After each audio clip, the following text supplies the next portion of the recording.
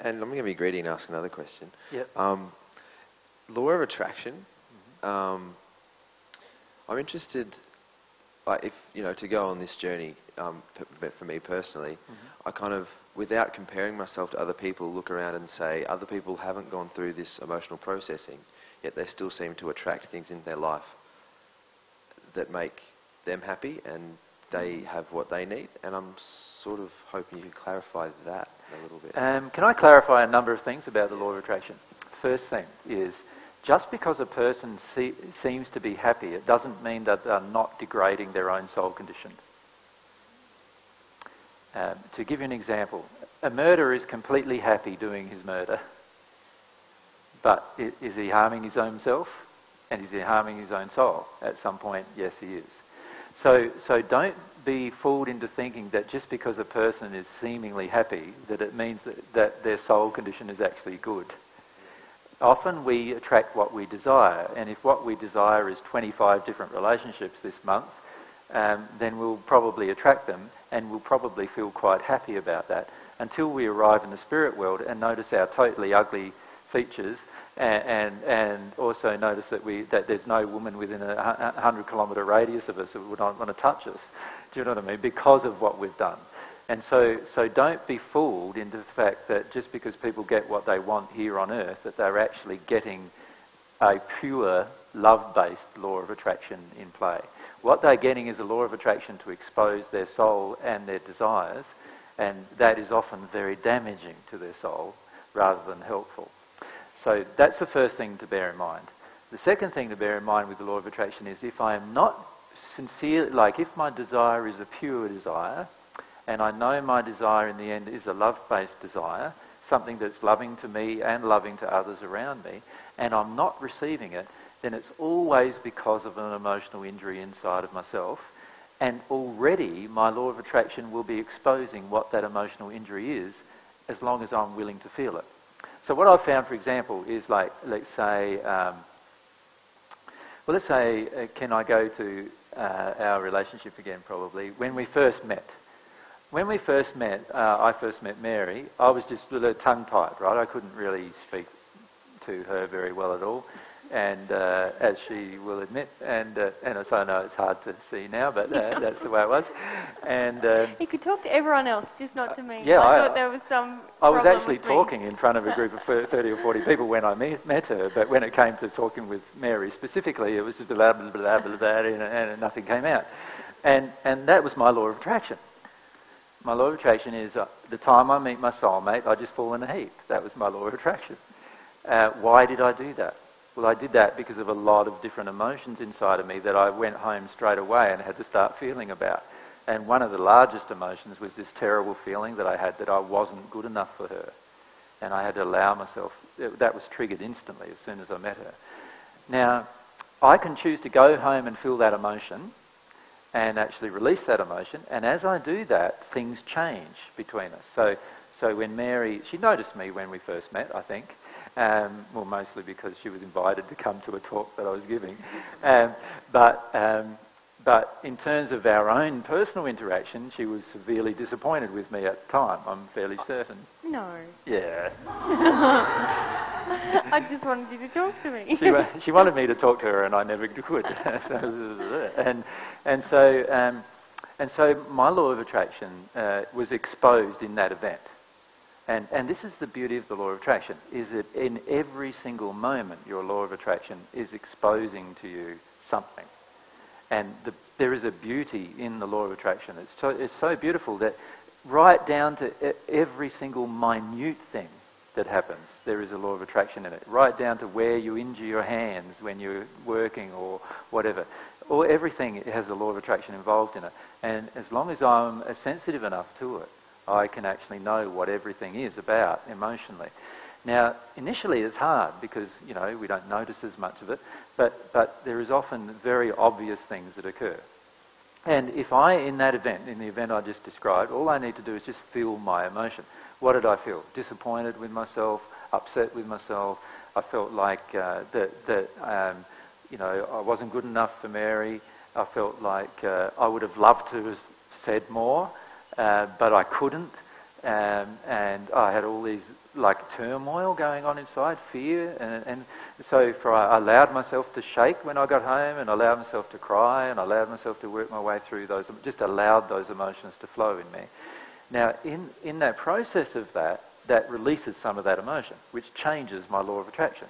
So the next time I speak with Mary, I can actually put two words together. Um, maybe not that intelligibly, uh, but st- better than I did the first time. And, and then I allowed myself to deal with more emotion. And if we, if we approach every event in our life like that, what will happen eventually is all the things that you do desire that are pure will come to you automatically because you don't have any impeding emotion keeping them away from you. Does that make sense? So, so what was happening with my, my soulmate was drawn into my life because of my desire. I had a desire to meet her. I had a desire for one woman. I'd lived five years alone up until that point uh, without a relationship. And I wanted my, I, I, was only interested in meeting my girl in the end. That's, that was it. I wasn't interested in anything else. So there was a desire that drew her into my life, but there was also this other emotion, which was that I'm not good enough for her, that repelled her from me in that one instant. And so uh, what I had to do is work through all of the emotions that repelled my desire. Does that make sense? That were opposite to or opposing my desire. And this is where there's a, becomes a marrying of desire versus negative emotion. When your desire is actually pure, it won't have negative emotions attached to it. So your law of attraction will automatically bring you the thing you desire. So if it's not bringing you the thing you desire right at the moment, the thing to look at is the emotional impact, the negative emotions that are pushing away these things from coming to you. Does that make sense? Because when you deal with the thing that's pushing you away, your desire is so powerful that it automatically draws to you everything you want. That's what happens. That's how God's designed the entire universe, actually. Could I just expand a little on why some you were saying some people seem to just get what they want without having to do any of this emotional stuff. Very often, uh, people have a desire, and either they don't have any negative emotion attached with that one thing. So some people don't have a lot of emotions about abundance, and they attract abundance, but they might have a lot of issues with the opposite gender, and so they don't attract a, a relationship that satisfies them in their life. So we have law of attraction about lots of different things. But sometimes people do have a negative emotion attached with whatever this desire is. But they work, and you've seen it in your life. People work really, really, really, really, really hard to get over the emotion, um, and they might actually get what they desire in the end. But it will have been at the cost of other things in their life. Mm. The beautiful thing about dealing with your emotions is that it just comes to you. Mm. You don't. That's the only work you have to do. So, in the end, to live a perfect life, if you could imagine you having your perfect life, to live the perfect life, all you need to have is a pure desire without any negative emotion impacting upon that desire. That's all you need to do. And, and if you have that pure desire in every place of your life, then every part of your life will be fulfilled. The problem that we mostly have is that we have you know, I have a pure desire for my girl, but at the same time I have all these terrible emotions about when I meet her, how I feel about myself. So my pure desire is now mixed with a heap of negative emotions, and that creates my law of attraction. So it took a year before myself and Mary start really connecting with each other because of these emotions. Does that make sense? Like, as a result, as a result of the fact that I have a heap of these negative emotions that need to be released, so that my pure desire, the one that's really there right from the beginning, that's just being covered over with all this crap, uh, can be exposed and draw to me everything that I want. Now, now when our desires are uh, unloving, they are just as powerful as when they're loving, in a sense. In a, and, and what I mean by that is that if I have an unloving desire, often that desire can also be met. Right? And if I have no emotion impeding the unloving desire, then I can pull in a lot of unloving things into my life as well. And this is why, like, you see guys, a lot of times they might have three, four, five hundred relationships, you know, in the space of a few years. Let's not call them relationships, let's call them, like, sexual encounters, shall we? And, and they think that's fantastic. Right? In reality, it's a unloving desire not impeded by any moral emotion, saying, well, hang on a sec, you know, what, how are all these girls feeling about this? How am I really feeling about this? What's happening to my own soul with all this? And so they're exercising their desire in an unloving manner, and of course they get exactly what they want. And that's how a lot of people also achieve what they want. But, but when they pass into the spirit world often, they have a look in the mirror and they're so totally disgusted with themselves they can't even face their own reflection um, because of the damage that that desire has done to their soul. So the key is we want to make sure our desires are based on love, based on truth, and when they're based on love and truth, go for them every single time. Every single time you go for them, no matter what fear you have, you just go for them, and you allow the negative emotion in the process of going for them just to come up, whatever the negative emotion is. So, so what I learned to do is go for my desire. So one of my desires is Mary. Go for Mary and allow every negative emotion in myself to come up as a result of me going for Mary. And eventually there'll be no negative emotions in me with my desire for Mary. And as a result of that, our relationship will be just perfect for both of us. Of course, if she has the same desire. Does that make sense? Yeah, absolutely. Yeah. Yeah, thank you. No worries.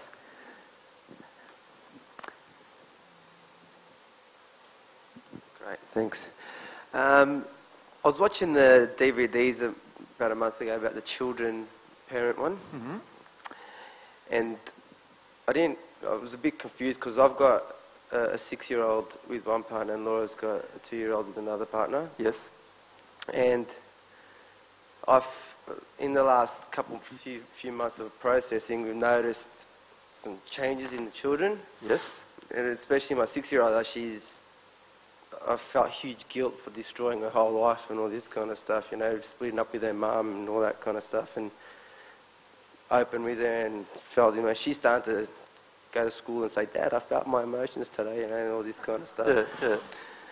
But I've noticed that there's still, I still have a bit of guilt attached to that, which mm-hmm. I still am working through. But I've noticed with, with, with the little one that when is it at the time when they have the, when, you know, you demonstrate free will and all that kind of stuff with the children, but when is it when they're actually taking the piss? You know, like, cause they, she's, she's smart, so she'll do things that will just deny every person around her. Like she's Mhm. stubborn and all this Yep. kind of stuff when she wants to be. And Yep. Laura doesn't see that much in her, but I do. Yeah, yeah. It's a very good question. Yeah. Um, many children heavily manipulate their parents. And, uh, and Even if we're another, like, Oh, yeah, not yeah. a biological father, but Yep, yep, and attempt to manipulate you as well in the process, yep. And, and the children do that because already by the time they're two or three years of age, they already have a group of emotional injuries in them. So, um, and, but they are also the perfect reflector of what emotional injuries we have as parents.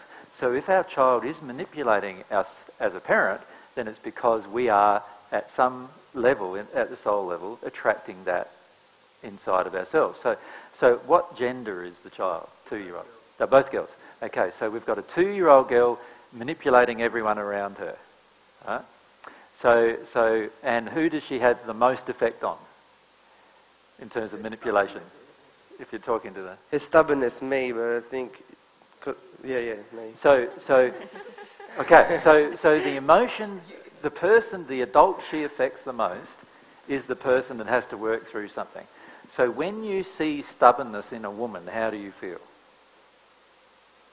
Angry? You feel angry. Yeah. So underneath the anger, there must be some fear, and underneath the fear, there must be some grief Grief, there. And can you see how that relates maybe to something in your own past about stubborn women? Yes. Yeah. Yeah. Okay. So the key is to deal with that emotion in you. When you deal with that emotion, you'll find when you deal with it at the causal level, the child will no longer be stubborn Okay. automatically. Mum might have to look at some of her emotions about Men. men. Mm. Because it's a dual law of attraction. Yeah. For me, I'm dealing a lot with losing control. And um, what you were saying, I experienced exactly the same thing today on the treadmill. I was running, and all of a sudden, I felt this love come into my heart of I'm in the presence with with the soul Jesus who has impacted my life since I was seven years old. Yet when I'm with him physically, I would never want to show that because of the judgment and you know, and what would happen if I really felt my love? I'd appear weak, and there's all this like battle with what my heart and how much love is there versus controlling it to dim it or to not, you know, keep it under wraps. So I've got this kind of like, you know, I turn the volume up or I can turn it low. I've got, I've got control over it. So my daughter is controlling and manipulating and I and see. in particular, controlling the male and attempting to manipulate the male. Yeah. So, and, and I feel it's like some days she'll be all over him, kissing him and everything, and other days she will just like totally ignore him. And, you know, and I, I, Yeah. I see that there's the control in both of us and not wanting to appear weak. So even if he takes away a toy that she absolutely loves and I know she's devastated, she'll be like, oh, well, like she won't cry, she won't show that he's allowed. And that's you. That's me. Yep. Yeah. Yep. And it's very important to see that with every, remember yesterday I talked about our law of attraction, how there's so many things involved in it. it. Remember, every single person involved around the law of attraction has a law of attraction that created the event. So if I've got a little two-year-old child being stubborn, every single person in the room has something to do with that two-year-old child being stubborn.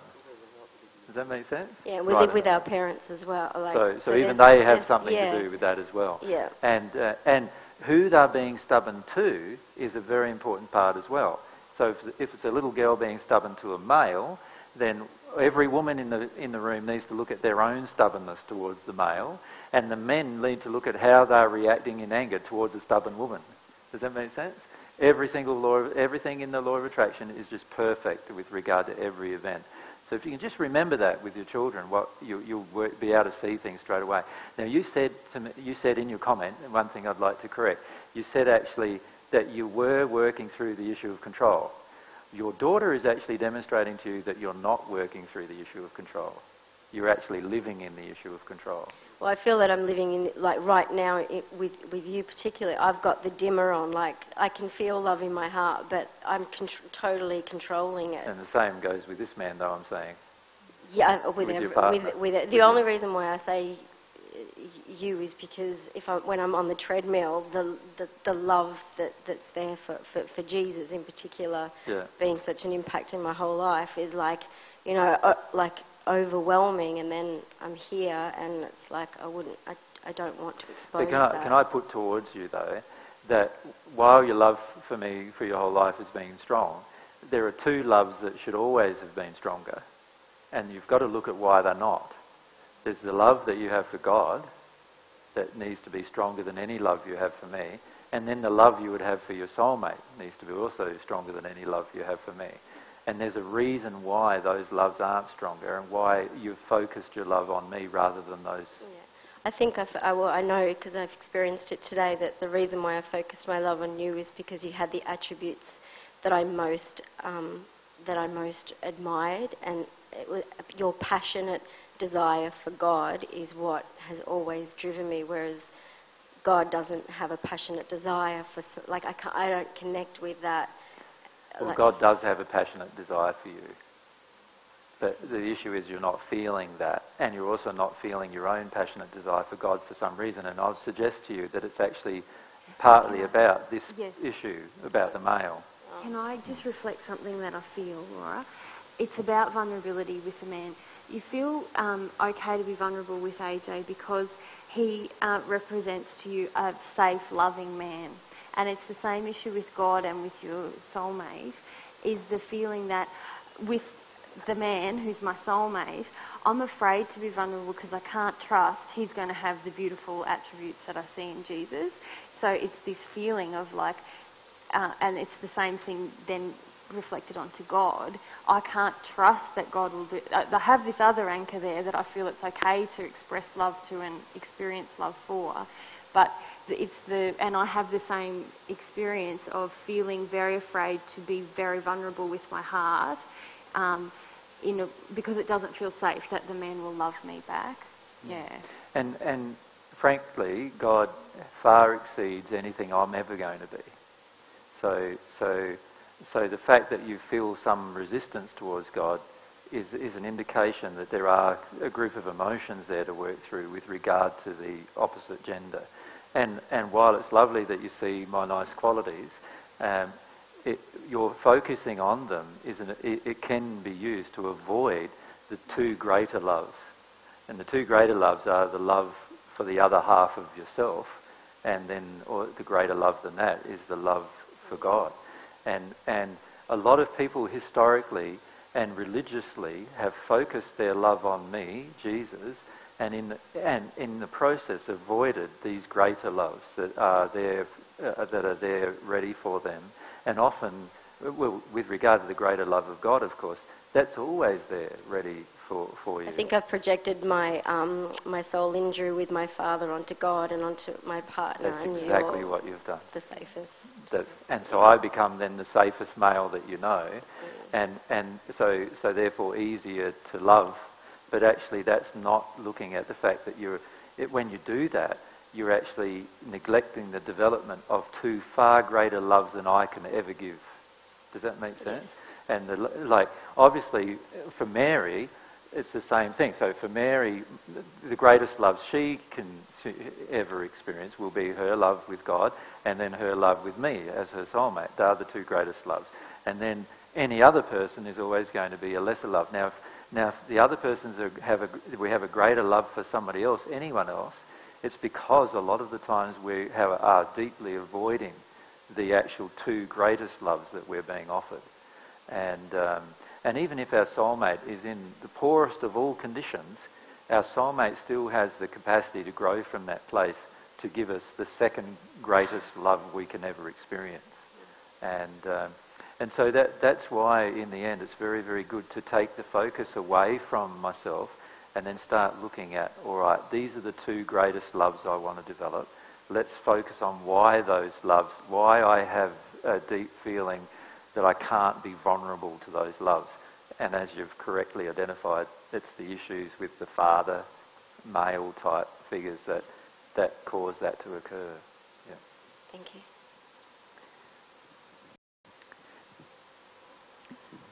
Um, I just want to ask about soulmates. Um, I don't really know where to start, but just that you can meet, have many partners in your life and have a loving relationship, but um, how do you actually know when you've actually met your soulmate, or um, do you always meet a soulmate in your life? And Um, I, I suggest that you listen, rather than me answer the question briefly, there's a talk, uh, there's actually eight hours of talk I gave just recently about the soulmate relationship and how you attract the soulmate relationship into your life and what kind of relationship it actually is. It's very, very different to any love-based relationship you'll have ever previously experienced. And it's very, very unique. And it's not something after you've experienced it that you would ever want to ever want to exchange for any other relationship. Uh, it, you don't have more than one soulmate. So, so the way God created you is that there is just the other half of you. The soulmate is actually the other half of you. And so, and when I say the other half of you, the other half of your soul, you are actually only one half of the complete unit that makes up your soul. And you could say then that a soul is really like two persons, if you like, in, or one body in two different persons. How did, how did Aristotle say it? I can't remember now. But, um, but basically, that, the soul is like two bodies in, in one person, really. And uh, wasn't it either. But it's true, isn't Yeah. it? It's And one person in two bodies. Is one- that what you said? Two, yeah, two bodies, one person. Yeah, yeah, yeah. Just yeah. opposite the way you just said it. Yeah. But um, but the beauty the beauty of the soul relationship is that is that you can't mimic it. You can't ever create it with somebody other than your soul mate, who is actually your true partner. Now, now in uh, the recordings that you can download for free from the internet, so that's on www.divinetruth.com. Um, there, there's a section I gave in there on soulmates, and I discuss how you attract your soulmate, what kind of relationship it is, what kinds of things happen in your soulmate relationship, and all those kind of things, and eventually where your soulmate relationship is actually headed, um, because it's headed into that soul union state where you become one being, and it's one being uh, acting. And it requires giving up lots of different desires that we often have on earth that are out of harmony with love. And a lot of our desires we have on earth is this desire for independence. The soul has a desire for independence as a combined unit, not as two separate halves. And so I don't have a desire for independence from Mary, for example. And as we grow in the soul union, we will have less independence from each other, but we will have more independence from every other person. So we become a unique individual as one unit. And I've described all of those things in, that kind, in, in those presentations. I'll be giving more presentations about the soulmate union as well because there's so much, many questions that people have had about it. But uh, can I just point out too, with the soulmate uh, relationship, it, it, will be the most challenging relationship you've ever experienced as well. And this is the reason why most people don't easily uh, uh attract it, is because they often meet their soulmate but feel deeply repelled by the opposite emotions in them, that they actually uh, have a sort of almost a love-hate relationship with their soulmate. And that's because of all the unhealed intergender emotional injuries that we hold inside of ourselves as a human race that we are unwilling to resolve many times while we're here on earth. And many times we don't resolve for many, many thousands of years in the spirit world either. So my suggestion is to investigate a lot about it.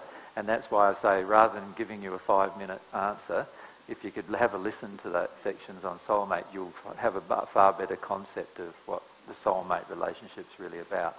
It's definitely not what the New Age people teach you it's about. So it's not a meeting of a person, all of a sudden realizing that's the one for me, and forever we live happily ever after. It's not like that at all. And it's particularly not going to be like that while we hold so many intergender emotional injuries as a human race. If we didn't have them, it would be like that. It would be like that if we didn't have those emotional injuries. The, the truth is actually that when you open the soulmate part of your soul, you will never desire a relationship with any other person, even if you're not with your soulmate. So um, once the soulmate part of your soul completely opens, uh, you will you will usually, once you have a pure desire to know, know who your soulmate is, and you will never desire another person and when I say never desire, I don't just mean never emotionally desire. I also mean never sexually desire or have any other desire for another person in that bounding, binding relationship. Your entire sexual drive disappears altogether. Right? And then when you meet your soulmate, it returns. Right? And so you can have no sexual drive for five, six, seven years. Well, for me, it was five years. I had, I was not living with anyone, had no sexual desires whatsoever. And then when I meet my soul mate, all of a sudden, it was the sexual desires were immediate along with all the other desires. So um, it's not like you're sort of test driving a whole group of people to find out which one of them is your soulmate, you know, nothing like that.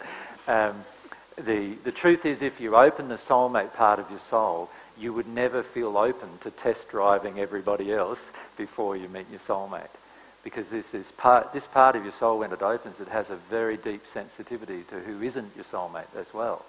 And as a result, it cannot sexually connect with those people. And, uh, and therefore, you cannot have a relationship with them. You can have a friendship with them, that kind of relationship, of course. And a, every, we can have a loving relationship with everyone.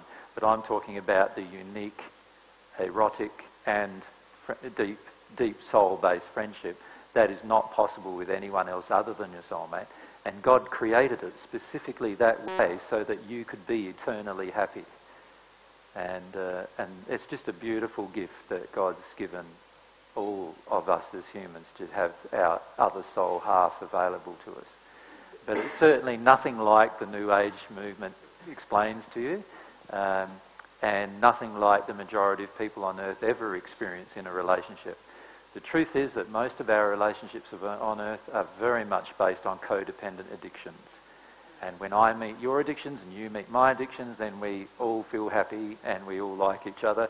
And then as soon as I don't meet your addictions, then we feel unhappy.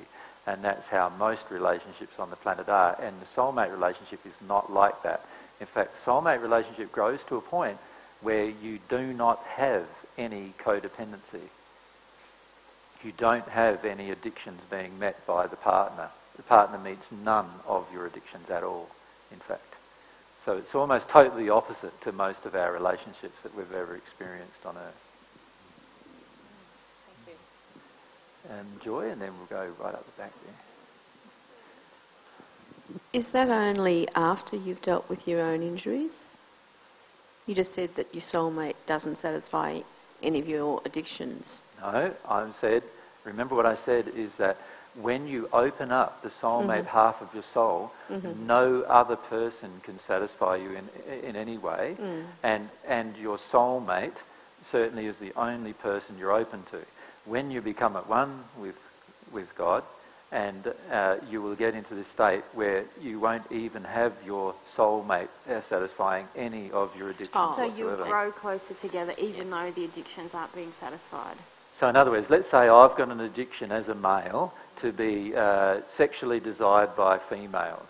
That might, when I open up the soulmate part of my soul, I will have that addiction will translate into an addiction to only be sexually desired by my soulmate. When my soulmate comes along, she probably won't desire me sexually. And that will trigger that addiction, and I will release it. And when I release that addiction, my soulmate will start desiring me sexually. Does that make sense? Um, and the, the way God created our relationships uh, are in such a manner, the soulmate relationship is in such a manner that if we allow it, we can actually use the soulmate relationship to grow immensely spiritually. If we did, if we both desire God, obviously, if, If we we, both don't desire desire, God. God. and growth, we could reach a point in our relationship where we are satisfying each other's addictions, still be soulmates, but never experience a soulmate So, relationship. so what I'm So- saying is the soulmate relationship, it does not have codependency. It does not have addictions being met. So if a soul, if a pair of soulmates do have, so if we as soulmates do have a codependent addiction, in that particular area, we are not yet in a soulmate relationship. Oh, okay. Does that make sense? So we might be soulmates living in a relationship, Right. but we are not yet in a soulmate relationship until we remove these codependent addictions that we have with each other. That makes sense. Yeah. So you can actually meet your soulmate and live in a completely codependent addiction state, hmm. but that's not a soulmate relationship. Hmm. A soulmate relationship is living with your soulmate, but in a totally like non-addictive state. Just me giving the gift of my love to my girl, she giving the gift of her love to me. In the case of our heterosexual soul partnership. And you're suggesting that um, you're better off to work through your own injuries with your soulmate?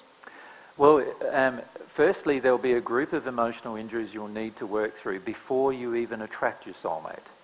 And those emotional injuries are primarily uh, surrounding how you view the opposite gender. And it's not how you think you view the opposite gender, it's how you actually feel about the opposite gender, which are often two very different things.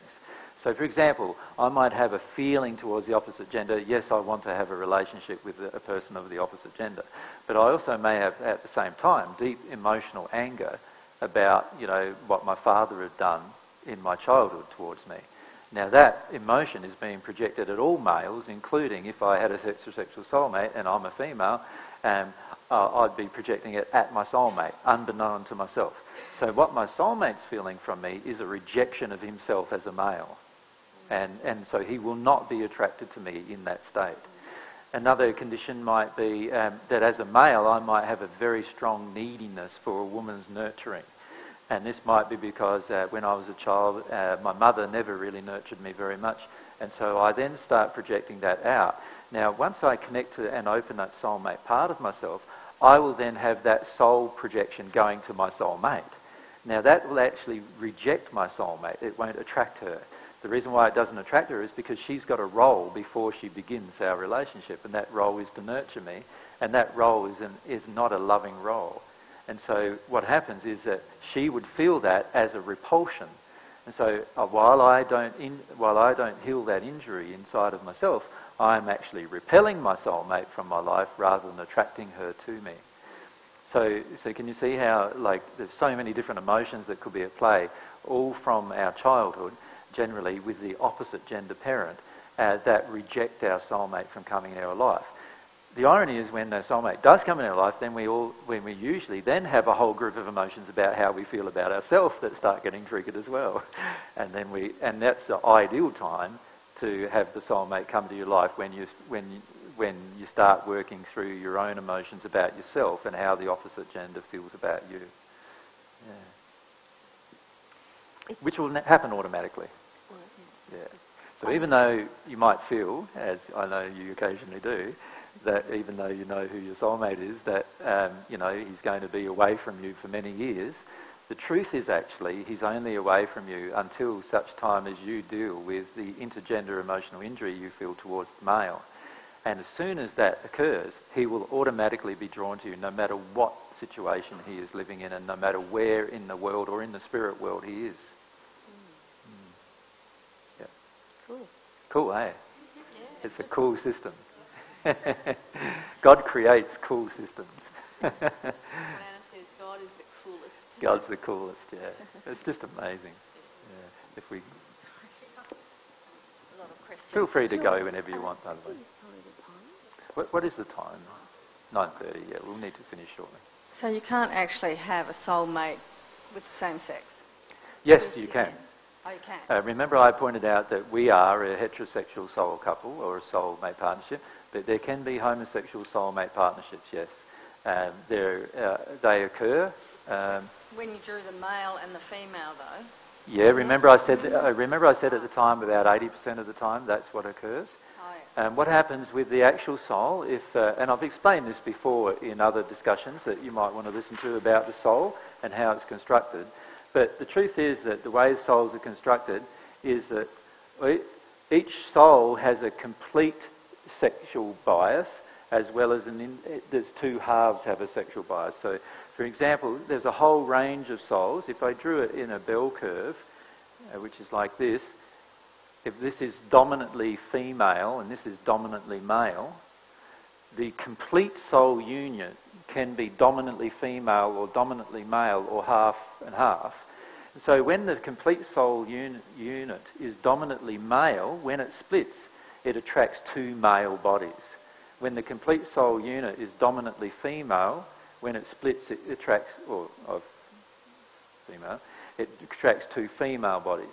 And when the complete soul unit is like, in most of the cases, about like I said, about 80% of the cases, the complete soul unit has a mixture of male, female qualities mostly. Then it attracts a male body on one side and a female on the other. So the truth is that the soul uh, can certainly be homosexual in nature. Um, none of the souls in the spirit world view themselves as homosexuals in, in nature because in the end it's just a complete unit, one unit, not two. So in the end, it's just a soul union that occurs between the two halves. So the truth is, there is no such thing as sexuality uh, with the human soul. It is instead, I would call it soulmateality or soul, something like that. Our sexuality is determined by our soulmate attractions. And when we have a bisexual uh, sexuality, we are actually not in tune with our soul. Uh, we also can often have a soul, uh, a homosexual attraction or a heterosexual attraction that is actually not a soul-based attraction. There are many people who believe themselves to be heterosexuals on the earth, but find out when they pass into the spirit world that their soul was actually a homosexual soul. And there are many people who have lived on earth um, as homosexuals and yet passed and then found it was only because of emotional injuries that they were living in that place. But there are still pure soul unions that are homosexual in nature. Is there always a sexual connotation, or can you have two best friends? Like, is there like two girls or two male, or mainly two? Is it, is it always a, a sex, there's a sexual desire, a sexual longing? Often, often on Earth, we detune from that. So you, often you'll see, for example, a, uh, homo- a lesbian homosexual soul couple which are pure, like they, eh, often you'll meet, we'll meet a couple and we go, wow, they, they're, they're actually soulmates. Um, they don't know it. They have a deep friendship, but they're not allowing any sexual connection between each other because of their emotional injuries and because of, you know, the societal beliefs and so forth. And, and that often does happen, where people have a deep friendship that's lasted all of their life, that actually, um, but actually they haven't allowed the sexual part of that friendship to develop because of their own emotional injuries. So the, tr- the truth is actually that um, many times we find that um, on the on this end of the scale, on the mostly dominant male end of the scale and mostly dominant female end of the scale, there are many emotional injuries that determine how they eventually get together. There is still a lot of emotional stigma on the planet about homosexuality, and as a result of that, um, there is a lot of unloving projections that, that these people feel right from the moment of their, inca- of their incarnation and, uh, and so therefore have a lot of confusion about their sexual life. And so many of them finish up feeling they're bisexual, for example, or, or have other types of uh, sexual preferences that we often think are strange. But um, in reality, it's because of the detunement from the true soul's condition. Because as a society, we, are, we have a lot of sexual repression. Yeah, and, and that causes lots of problems. And uh, the beauty is, is that if we are a homosexual soul couple that's male-male, in the spirit world or even on earth, as we deal with our emotional repressions, we'll automatically attract our soulmate anyway. And if we were had, if we were on the on the homosexual female end of the scale, the lesbian end of the scale, what would happen there is that as we deal with our soul-based injuries toward the masculine and towards the feminine, we will automatically start attracting our soulmate anyway. So so most people do have a knowledge of their own sexual preferences. And the sexual preference is actually not determined by anything physically, but rather is determined by the soul's desire. Yeah. yeah. In other words, by the soulmate relationship. Yeah. Oh, sorry, there's been a fellow out there. It's off the subject. Is there still soulmate questions? Is this a soulmate question? Uh, sexual projection, so sexual question. And then we'll go off the.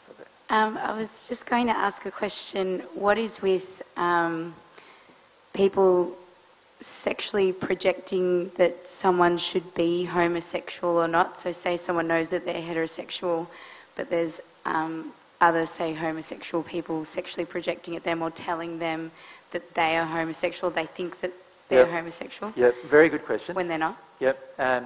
What, what is guiding it is a lot of very, very um, strong power-based emotions generally. Almost all of our sexual uh, emotions are not really sexual in nature. They're usually based around other things. And for, for many people, uh, sexuality is based around power, control, and safety. And so, for example, uh, many women, for example, project sexually at a male who's bigger than them. And the reason why they do that is that uh, the male feels, if they're bigger than them, they, they believe that they'll be able to be protected and be kept safe and secure by this bigger male. And so therefore, they project sexually at them in order to have their attention. So they equate, because they carry that injury, I'm not safe as a woman, when that injury is allayed or when the fear is allayed, then they become sexually aroused or they be- feel sexually attracted. When in a pure sense, if they didn't have that injury, their sexual attraction might be to any other kind of male. Might be a male shorter than them, for Yeah. all we know. Yeah. You know what I mean? But, but while they have that injury, that, that, that attraction will result. Now, when it comes to a person projecting sexually at a person that is not the same sexual persuasion as themselves, so in other words, a homosexual male projecting at a heterosexual male, or a homosexual female projecting at a heterosexual female, that is, that is often deter- uh, what's often determine, determining that is this deep feeling inside the person that they want to have an unattainable relationship. And this comes from big emotional childhood injuries about the unattainableness of a relationship with usually the same sex parent. So, for example, the homosexual male projecting at a heterosexual male wanting a relationship with him when the male, the heterosexual male knows he's heterosexual, is caused generally because the homosexual male hasn't had a very good relationship with his father in, in, on, in, in, in his childhood. And he's looking for specific things as a result from an unattainable male in, in a sexual way. And the same usually applies uh, on the female uh, homosexual projection. All sexual projections actually fall into this category. So So, so even if I'm a heterosexual male projecting at anyone who's other than my soulmate, a, a, a woman who's other than my soulmate, I am actually acting out a childhood emotional injury rela- related to my mother that I need to repair. Or a childhood injury related to my belief about myself in reference to the mother that I need to repair. And, and so when we look at all of these intergender emotional injuries, they all affect the outcome of our sexual relationships. So the sexual relationship is actually an effect, it's not actually a cause of, of things. A lot of times in, in society we've viewed it as a cause, but in reality the sexual relationship is usually a deep effect of our childhood emotional injuries along with childhood emotional pure desires that are a part of our soulmate pure, pure attractions. So, so we get this mixture of stuff going on uh, that causes lots of different emotional injuries in our life that then causes us to have all sorts of sexual projections at people and sexual attractions that once we release the injury, we no longer have. So many women have found, for example, that once they release the injury of wanting to be safe and secure, in other words, needing somebody else to create their safety and security, they are no longer attracted to the men that they believed they were the type of man they believed they were attracted to before. And the same applies for many men. So uh, many times we are attracted to um, either the opposite, the direct polar opposite of, or a, a representation of our opposite sex parent. And once we heal the emotional injury, we're no longer attracted to that. And now we can feel our pure soul desire, whatever that is. Yeah.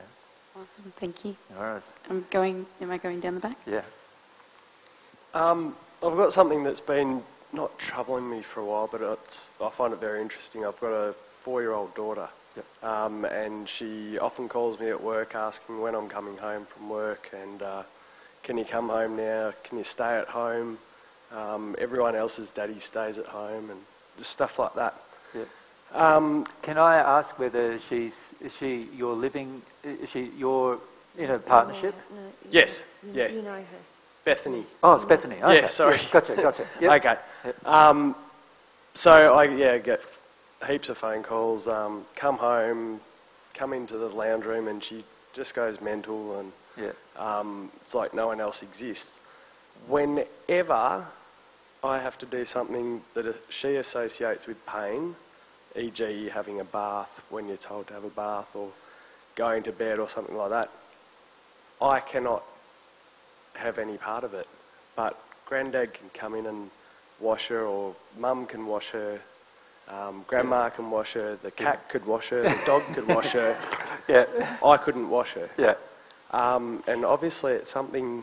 There's So is it something that she finds unpleasant? Is that what you mean by the pain? No, bit? no, she just wants somebody. I, I don't know. Just any I- task she wants someone There's actually to do. two Yeah. things happening Yeah. um, that I can feel.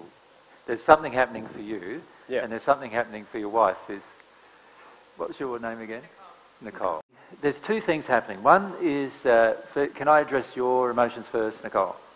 Is that all right? Okay. Um, your daughter is acting out a lot of your emotions towards your husband that you are not allowing yourself to act out. Um, so while you suppress them, what happens is she acts them out for you. Does that make sense? Yep. Yeah.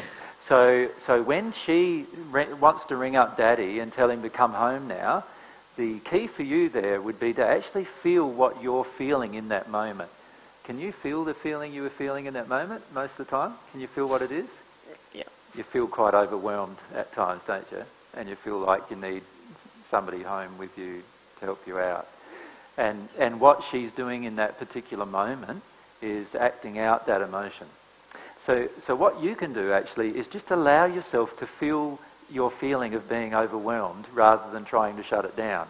I know with children there is this belief that people have that if we show our children our emotion that it's actually damaging to their children. But the reality actually is quite different. When you actually allow yourself to feel your own emotion that you feel quite overwhelmed, that's when your children feel the most safe because they're not receiving that projection from you. Does that make sense? Yep. So if you can allow yourself to actually feel your own emotion about how overwhelmed you're feeling in that particular moment, what will happen is she will feel quite safe and she won't feel like calling Yeah. daddy in that moment. She'll just let mummy have her cry or whatever mummy needs to do and she'll play probably quite quietly uh, without bothering you while you do it. Um, now, often it's quite confronting to parent that way, you know, compared to what we've been taught how to parent. So um, just to, to allow your emotions to flow rather than shutting them down and denying them. But if you experiment with that, you'll find that straight away things will change and that will give you the feedback that you need. Wow, I'm the, on the right track here. Yeah. Does that make sense? The other question that you had, though, was about, uh, what was your name again? Chris, that's right. Um, the other question you had, though, Chris, was about um, about bathing and other other things like that. Now, what's happening here is again a bit of reflection of mum's emotion, but it's also towards the male and how you feel as a male around women. And you actually have some feelings of discomfort um, inside of yourself around women at times, and particularly around women's bodies, if I can be specific. Um, do you feel that at all? I'm not sure. Yeah. and and in particular about um, and this is affecting the relationship with daughter. In uh, the reason why she doesn't want you to change, you know, to change her clothes or be a part of her dressing and all these other things that are going on. And the key for you is just to notice it inside of yourself again, and remember that um, these are no judgments, by the way. This is this is just your child reflecting back at you at any one point in time an emotion. That's all. That emotion that I'm denying in myself. Now, I know as a father for myself, um, there were times when I was in quite a lot of confusion about what's the right thing to do with this little child that I had no experience in raising before this particular point came along. And nobody's taught me how to raise, and, and I don't know sometimes how to interact with them, or, and, and even how to do things like bathe them or, or, or other things like that. And, and I have some degree of discomfort sometimes about what people project at me as well. Uh, in other words, often with a, with a male, with mothers, mothers often are allowed to bathe their children and even uh, bathe the child's private parts and, and sexual parts and everything with, uh, uh, with, no, with immunity from being accused of any harm. And yet, if a father does exactly the same thing, he's often accused of harm. And so um, often, uh, as guys, we become quite afraid of what we're going to be accused of, what we're not going to be accused of, you know, and all these kind of things. And there are a lot of uh, gender-based uh, judgments uh, towards the male about rearing children. And if, if you can allow yourself to actually let yourself feel about some of those and your discomfort's there, you'll find she will feel very comfortable with you um, and, and very comfortable with you bathing her or put chain, you know, putting new clothes on her and things like that, just as she is with, with the others in the family. So that, that's the other thing to do too, um, as a, and this is just a recommendation as a couple, is to see what she's playing out with each of you individually actually reflects a lot of the belief systems that you have about the opposite gender. So this is the beauty of our children is they are perfect reflectors. They are just so beautiful at reflecting everything perfectly. So if you can allow yourself to just notice the the what she's reflecting at that one instant. So you know that re- you, you could easily feel Nicole, couldn't you, when I said, "Ah, right at that moment when she calls Daddy, what are you feeling?" Straight away you twigged, like I could see that emotion run through you of, "Yeah, I know what this is about." And what, if you allow yourself to do that all the time with your, both of your children, because you, you've got the blessing of having a boy and a girl, which means a very balanced, like, you've got to get a very balanced reflection from the male and the female as to what you can work on together. And, and if you can allow yourself to see those reflections and allow yourself to just feel the emotions and release those emotions, you'll find that things will change very rapidly with the children and, and they'll, they'll, they will um, change. They'll seemingly even change sometimes in personality, when in reality it's not personality. All they're doing all the times is just reflecting our own denied emotion. Does that make sense? Um, um, you wanted to say something because there was one other point I wanted to raise. No, I, I was just going to say it's, it's it can be a really amazing process. We know quite a few couples with young children who are just taking the advice AJ's giving, and it's quite beautiful to observe how the family grows together. Yeah, yep. And and understand that everything that they that they um, act out between each other also is a reflection of what's going on between you two as a couple. So, um, if can I be even more blunt than I've been so far, or how far do you want That's me to go? You're okay. Um, um, allow yourself, allow both of yourselves to open up more sexually towards each other. Um, as you know, there's some things going on there uh, in your relationship, and and if you can allow yourself to open up more and challenge some of those emotions that you feel, um, and myself and Mary will be doing some presentations soon about how to do that in a practical way. Um, it'll help a lot with your relationship, and it will also help a lot with what your daughter, in particular at this point, but later your son might act out in the future. The reason why is that often, often when we have children, um, there are a lot of emotions that come into play about our sexual relationship as a couple. And, and if we can allow ourselves to work through those emotions, it has a fantastic effect not only on the relationship, but also has a fantastic effect on allowing the children to have their own sexuality develop freely. As soon as we start shutting down things between uh, each other sexually in the relationship, what finishes up happening is in the the, the children also begin shutting down those things inside of themselves, and and that creates a sexual damage in our children. So by the time they get to teenagers or adults, they're starting to act out that damage. And so if you can allow yourself to address those issues that have just come up since the birth of their children, um, that would be really great for the both of you too. And by the way, no one has said anything to me about that. I'm just going by what I feel from the both of you, um, which I do pretty much all the time. So if you can al- allow tho- those things to be looked at as well, and I, um, I'm not being, going to be more specific than that. I think you both can know what I'm speaking about.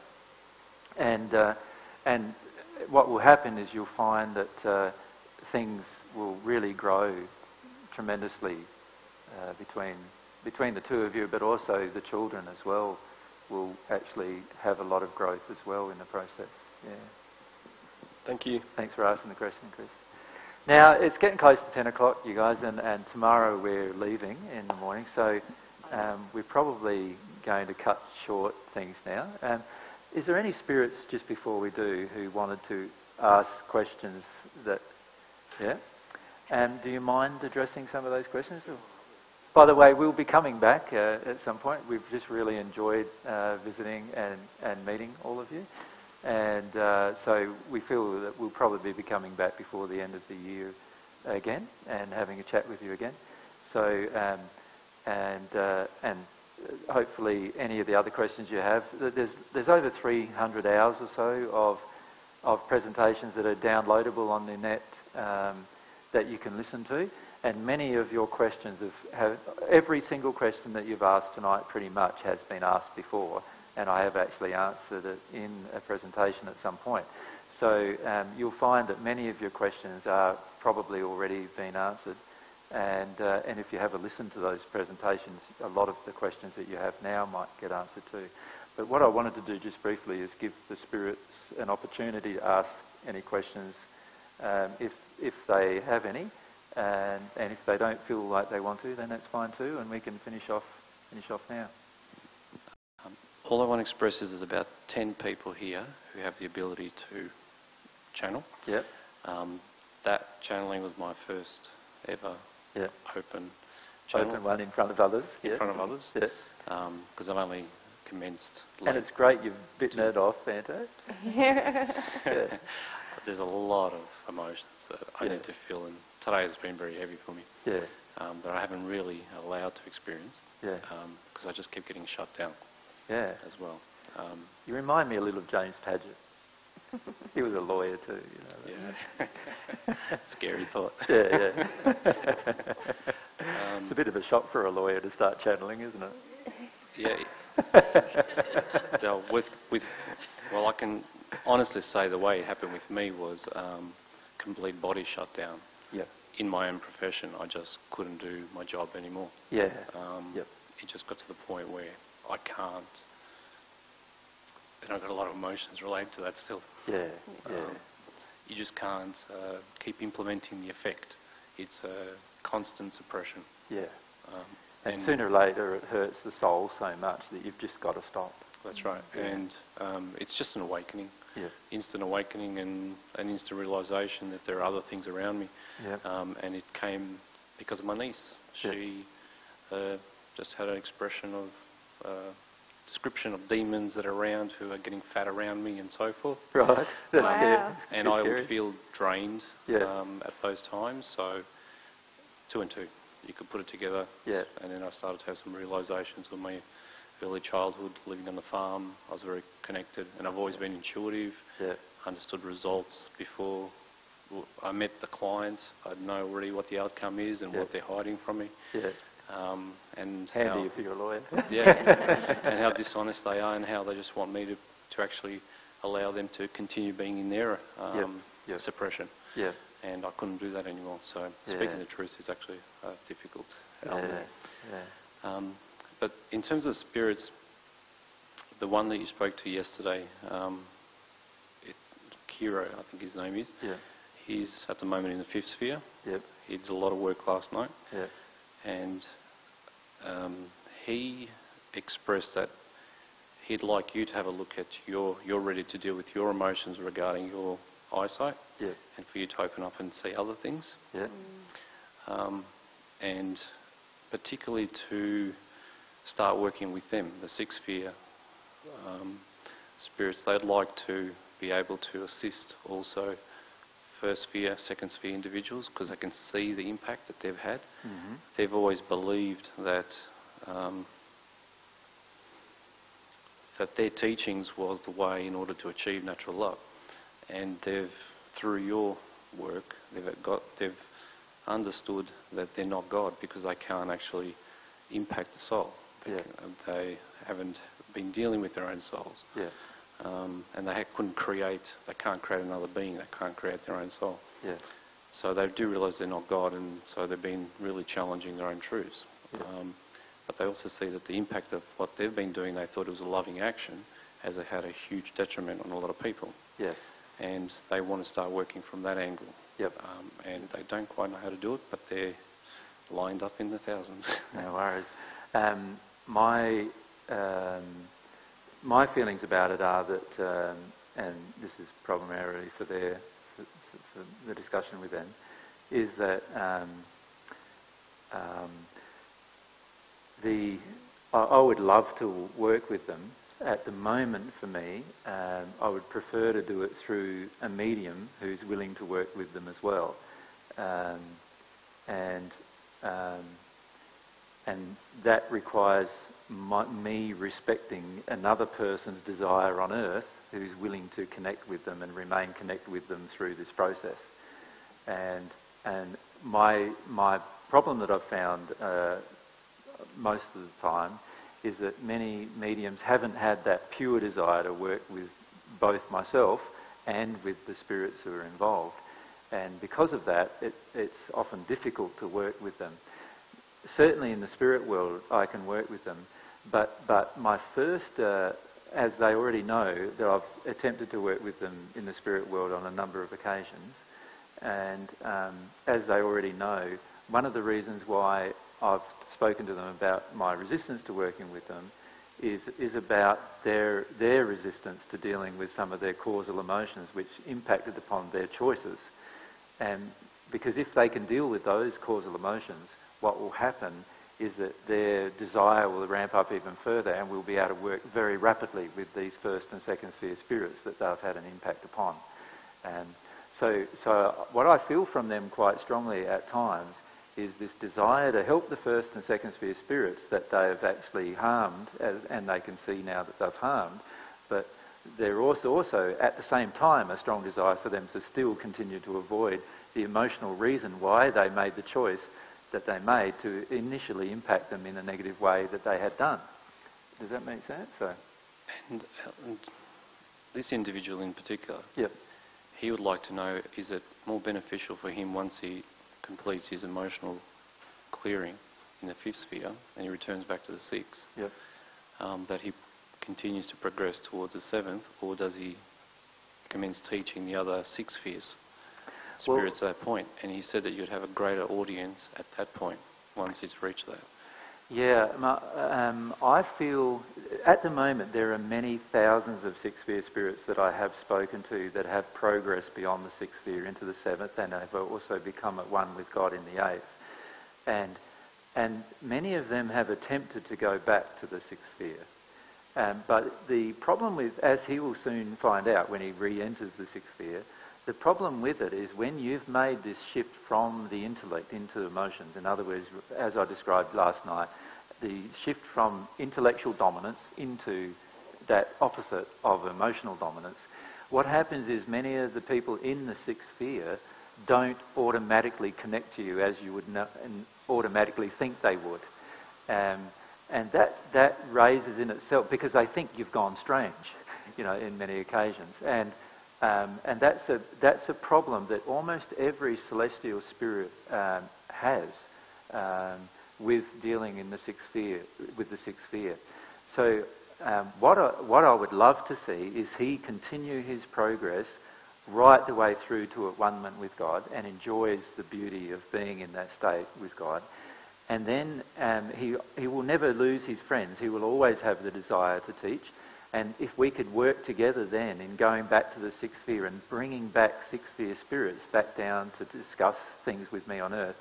And the reason why it helps better when I'm on earth is because when the sixth sphere spirit comes to discuss with something with me on earth, they're automatically connected with their earth life again, which means that they're automatically drawn back into thinking about their emotional harms when they were on the earth. And that has an automatic impact on them emotionally. So um, that's the beauty of having someone on earth who can actually speak through somebody to, to six sphere spirits. But his friends may not all consider themselves to be his friends much anymore because of the shift that he personally has already made. And so um, it's not always as easy as what he may currently feel it might be to work together helping those six sphere spirits change. Because over 2,000 years I've obviously done a lot of work attempting to help six sphere spirits. But we can, I believe, have a larger effect on them on earth than we can uh, even in the spirit world because of this drawing them back to their earth life and remembering their earth life and therefore remembering emotion. Um, so I'd love to work with him together on that, and I'd also love to work with him together on my eyesight and my problem with my. Um, oh, he also can see the problem I have across here on my body, um, and I'm perfectly happy to listen to him about uh, what he feels emotionally those particular things are too. Hmm. In relation to that, I received a download last night, Mm-hmm. um, and all he wanted to bring to your awareness was that upon reincarnation, you've received other qualities that you're not aware of on your original journey. Yeah. Um, and he was talking to me about my qualities that I have. That a lot of um, spirits also look at the positive qualities that you have within you, Yep. and that that was not one of my focuses. Yeah. And um, and that some of those positive uh, qualities also attract um, adverse spirits because they can attach into your negative qualities in order to work on the positive qualities to achieve what they want to achieve. Yeah. Um, and one of those things was my strength as a soul to search for power, um, to be able to do things on this earth in a powerful manner, which was adverse to, um, I guess, the environment and everything else. Yeah. yeah. Um, and it's just my use of my intellect and be able to use my position and, and do things. Um, So, does he feel that uh, my eyesight is about um, me not recognising or not allowing myself to recognise some of these qualities? and other truths um, that that is occurring um, in this. And uh, see, I get distorted as to what Yeah. um, through my own And emotional can I, filter. Can so I I'm just not help quite him? understand it. There's an emotion he's feeling at the moment. He's sort of being uh, there's other spirits talking to him at the moment um, who are related, who are celestial friends of mine. Um, that if he can allow himself to listen to them, um, they'll, he'll be able to say some other things as well. The only problem is I'm Yeah, going through my emotions. Yeah, of course, of course. And, and we can easily, it doesn't have to be this time. Mm. I mean, there's another person here who can express it um, if they're willing to do it. Just because I'm processing Yeah. at the moment. Yeah, Because what I find is I get disconnected, and with the microphone yeah. The There's frequency the change on- pressure of Yeah. the situation. and the yeah. frequency of it alters my connection as well. It's or there's a false Yeah, belief no, system. that, that's actually not a truth. It's, Okay. it's, a, it's the emotions that are associated with you holding the microphone, actually. Okay. Yeah. Um, you want to have the earpiece instead? would you like me to identify a person who would be willing? Well, if uh, there, there is uh, people in here who want to. It's just there's a fear stopping it as well. So I guess it's a free will. Well, it's a free will thing, and I've invited anybody to. And this is the issue we have oftentimes with mediums, is that is that there are many who are capable of doing this work uh, with us, but quite a number who are yet to work through their emotions about doing it. And we, we would love to work with them, but a lot of the times they have deep emotions about doing it, and particularly about doing it also in public or having sessions recorded and things like that. And, and the reason why I do the recordings is because every single person then learns from what's happened, not just the people involved in the, in the session. So, so one of the reasons why we record almost all of our mediumship sessions now with people is because it teaches not only the person who is the medium doing the work right in that moment, but every single person listening gets some benefit out of the out of what's going on. Uh, the spirits involved, the medium herself, ourselves, and also any any person who listens to the recording. So, so, um, but it just requires dealing with some of those emotions that you feel, and so, and we'd love to help any person, by the way, who is mediumistic, to actually start um, doing working in this way a lot more sort of deeply, if you like. Well, he's expressed there are 10 individuals in this room who, at this point, have the ability to do it Yeah. quite clearly. There you go. Um, She's looking around, and you're one of them.